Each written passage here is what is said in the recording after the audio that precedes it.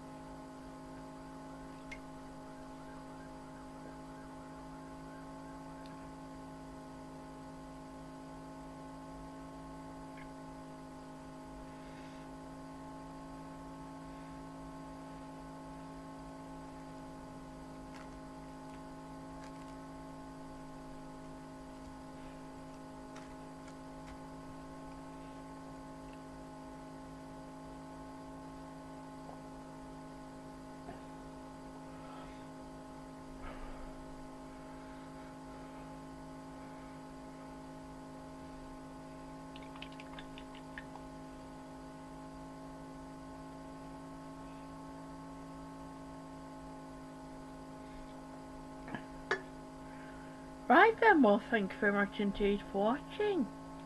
Bye.